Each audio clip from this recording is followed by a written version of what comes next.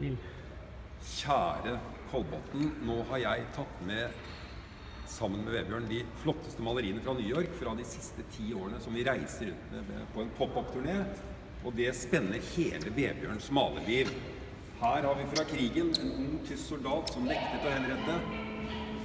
Og her har vi fra Sydpolen. Her er fra Sydpolen. Og her oppe så har vi bilder fra eh, 80-tallet med bonden. Og så har vi akter. Og her, et av de bildene vi er aller mest stolt av her borte Kom igjen, folk. Så har vi vår kjære mor, mamma.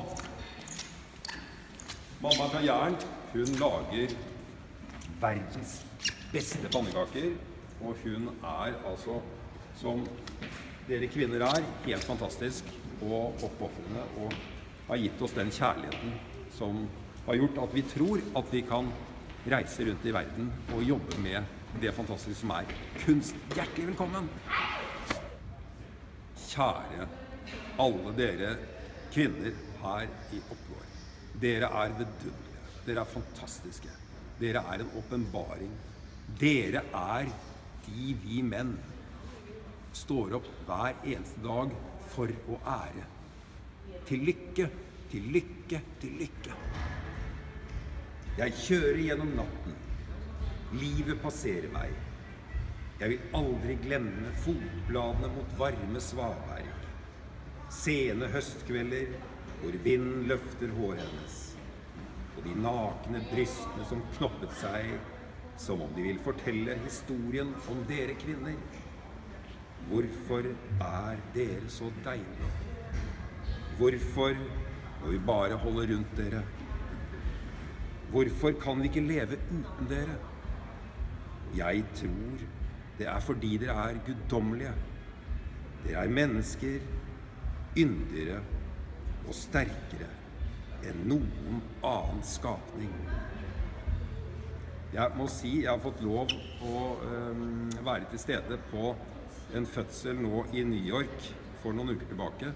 Og det å være til stede og se eh, en, en, en, en sånn eh, guddommelig eh, eh, situasjon hvor et lite barn blir født, og hvordan dere kvinner ja, jeg, jeg, I dyp respekt så, så, så legger jeg meg ned. Er, altså, den styrken dere har, det motet og den smerten som dere går igjennom når dere føder altså Vi menn er noen tusseladder og har ingenting å stille opp med. Så jeg er eh, dypt forelsket i dere kvinner, og dere er helt unike. Underholdende leken, leke. Underholdende eh, Så gøy. Og så da honning. Wow. Så den kan jeg Var dette en gave til meg? Så jeg kan etter nå slikke i av denne honningen som en herlig frokost. Dere kvinner, altså. Dere er helt unike. Wow. Så hyggelig, da. Vi er egentlig to bier. Det her Ja. er honeybee, og jeg Ja, ja, hei. Ja, vi filmer. Ja, så hyggelig. Wow.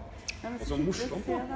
Vi har jo jobbet med din bror og vært Ja. med på ting vi har lagd tidligere. Ja, så bra, så bra, så bra. Vebjørn har jobbet med anatomi eh, og studert det som en lege i tre år. Så han kan alle plan, alle ben, alle scener. Så når han jobber med et portrett eller maler et menneske, så vet han hvordan ting ser ut. Her er det Sydpolen. Vebjørn har vært tre ganger på Sydpolen. Det har vært en fantastisk reise som han har forelsket seg i det enorme kontinentet. Her har Vebjørn malt bildet rødt fordi det symboliserer at isen smelter Nei, at sola smelter isen.